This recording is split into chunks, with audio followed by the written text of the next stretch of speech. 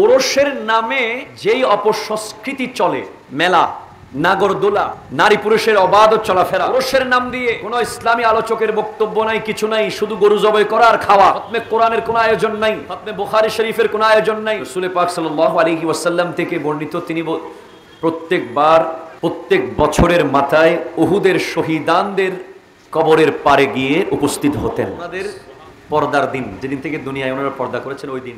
এবং বলতেন, সালামুন আলাইকুম বিমা সাবারতুম ফানিআমা উকবাদ্দার তোমাদের উপরে সালাম তোমরা ধৈর্য ধারণ করেছ। আখিরাতের নিয়ামত কতই না উত্তম। ওয়াল খুলাফাউল আরবা। হাকাযা কানু ইয়াফআলু চার খলিফা। সেম ভাবেই প্রত্যেক বছর উরসের দিন ওহুদের শহীদানদের কবরের পারে গিয়ে তাদেরকে স্মরণ করত। সুতরাং বুঝতে হবে আমরা কোনো বেদাত করছি ওরসের নামে যেই অপসংস্কৃতি চলে, মেলা, নাগরদোলা, নারী পুরুষের অবাধ চলাফেরা, ঠিক কিনা কথা বলেন না বাবা? ওরসের নাম দিয়ে কোন ইসলামী আলোচকের বক্তব্য নাই, কিছু নাই, শুধু গরু জবাই করা আর খাওয়া। এরকম আছে না নাই বলেন না?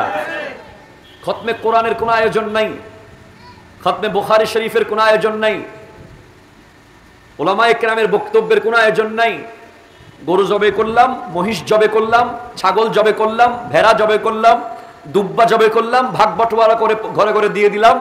এগুলো নয়। আসল উরস কেমনে করতে হয়?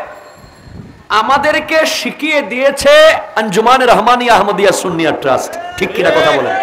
এবং আসল উরসে কীভাবে পরিচালনা করতে হয়? সেটাও আমাদেরকে শিখিয়ে দিয়েছেন জামিয়ার ময়দানে গাউসিয়া কমিটির ভাইয়েরা ঠিক কিনা? এই জন্য আজকের এই ওরসের ওই আদলে হচ্ছে এখানে নারীদের কোনো আসা যাওয়ার সুযোগ এখানে মেলা নাই লিপস্টিক আর নেইল পালিশের দোকান এখানে দেওয়া হয়নি ঠিক কিনা কথা কর না? এখানে নাগরদোলা নাই ছোট ছোট বাচ্চারা হই হুল্লোড় করবে এখানে নাসানাসি নাই এখানে অত্যন্ত আদবের সাথে বসতে হবে। এসেছি খালি কলসি নিয়ে, যাব ভরিয়ে। আল্লাহ পাক তৌফিক দান করুন রব্বে করিম সুরান ফাল শরীফের চৌত্রিশ নম্বর আয়াত ইরশাদ করতে লাগলেন, ইন আউলিয়া উহু ইল্লাল মুত্তাকুন। বলেন। নিশ্চয় অলি হলো তারা, যারা মুত্তাকি। এই আয়াতের মূল কথা হলো যিনি মুত্তাকি তিনি অলি যিনি অলি তিনি মুত্তাকি। এক শব্দে বলি মুত্তাকির ডেফিনেশন কি?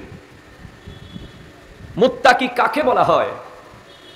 মুত্তাকির ডেফিনেশন অনেক লম্বা কথা আছে তফসির জালালাইনে আছে পাদটিকার মধ্যে আরও বহু জায়গায় আছে।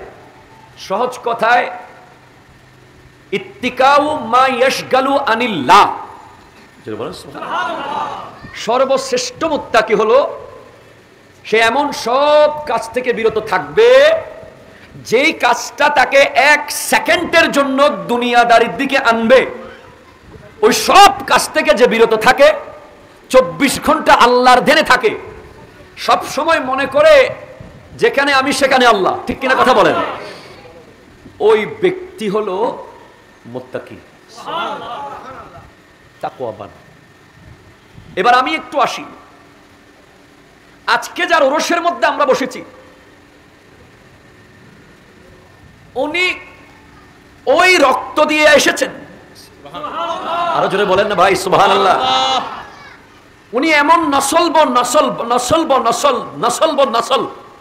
ওনার জেনারেশনটা যদি আপনি দেখেন ওখানে দেখবেন প্রত্যেকটা র্যাঙ্কে গিয়ে গিয়ে প্রত্যেকটা প্রজন্মের গোড়ায় গোড়ায় ওনার বাবা বাবার বাবা বাবার বাবা, প্রত্যেকটা বাবাদেরকে দেখবেন যাদের শরীরে ইমাম হোসাইনে পাকের রক্ত আছে। তাকোয়া গোটা কায়নাত শিখেছে। সেটা হলো আমার নবীর পরিবার। যেই পরিবার থেকে খোদাবিতি গোটা পৃথিবী শিখেছে। একটু জোরে বলেন না ভাই সুবাহান বলেন। যেই পরিবার থেকে সিজদা শিখেছে গোটা কায়না, যেই পরিবার থেকে রুকু শিখেছে গোটা বিশ্ব, যেই পরিবার থেকে ক্যাম ক্রোধ সুজুদ, কীভাবে আল্লাহকে রাজি করতে হয়, কীভাবে আল্লাহ হতে হয়, শুধু শিখিয়েছেন না, বরং দেখিয়েছেন, শুধু দেখিয়েছেন না দেখাতে দেখাতে, শেখাতে শেখাতে এমন পর্যায়ে পৌঁছে গেছেন ওই পরিবারের সদস্যরা। যাদের ব্যাপারে আমার নবী বলে দিয়েছেন, আমার আল্লাহ বলে দিয়েছেন, আমার নবী বলে দিয়েছেন, আমার আল্লাহ বলে দিয়েছেন, স্পষ্ট স্পষ্ট করে দিয়েছেন, ইন্নামা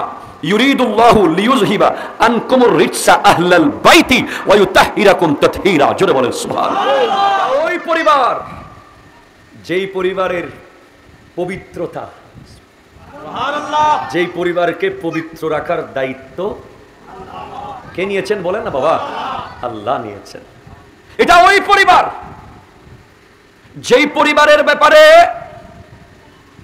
আমার নবী বলেছেন মান মাতা আলা হুব্বে আল মুহাম্মাদিন সাল্লাল্লাহু আলাইহি ওয়াসাল্লামা মাতা শহীদান। আরও জোরে আরও জোরে ভাই সুবহানাল্লাহ জোরে বলেন। যে ব্যক্তি আমার পরিবারের মোহাব্বত অন্তরে নিয়ে, আমার আহলে বায়েত এবং তাবান আহলে বায়েত তাদের প্রজন্ম, তাদের ভালোবাসা অন্তরে নিয়ে মারা যাবে, সে মুমিন হয়ে মারা যাবে। এখন তৈয়ব শাহবাবাজির উরস করলে অনেকের জ্বলতেছে। এই কথা কন বাবা। আওয়াজ না আপনারা ভয় পাইতেছেন? অনেকের একটু কষ্ট হচ্ছে। এই ধরনের কথাও আমাকে শুনতে হবে। দুই সালে এসে আমি কখনো কল্পনা করি নাই। কারণ তৈয়ব শাহ বাবাজি নিজেকে এমন পর্যায়ে নিয়ে গেছেন আমি নিজে রাজসাক্ষী আমি তো ঢাকায় প্রতি শুক্রবারে যাই। যারা জিন্দেগিবর আমাদেরকে মুসলমান মনে করে না। আছে না নাই? কিছু টুপিওয়ালা দাড়িওয়ালা আছে যারা আমাদেরকে মুসলমানও মনে করতে চায় না ওদের কষ্ট হয়। যারা আমাদের নামাজগুলো হচ্ছে না মনে করে? যারা আমাদেরকে বেদাতি ফতোয়া দেয় মাজার পূজারি বলে তারা পর্যন্ত অবাক হয়ে জিজ্ঞেস করেছে গাউসিয়া কমিটি কে প্রতিষ্ঠা করল? ভাইজান একটা কথা আছে হাতি চলে বাজার কুত্তে বকে হাজার। ঠিক কিনা কথা বলেন না? হাতি চলে যাচ্ছে বাজারের দিকে। আশেপাশে অসংখ্য কুকুর যদি ঘেউ ঘেউ ঘেউ ঘেউ করে, হাতি তো দেখে না এত নিচে। ঠিক কিনা বলেন না? কুকুরের পরিধি তো অনেক নিচে, সে হাতির পায়ের তালুর কাছাকাছি। হাতি তো চলতেছে।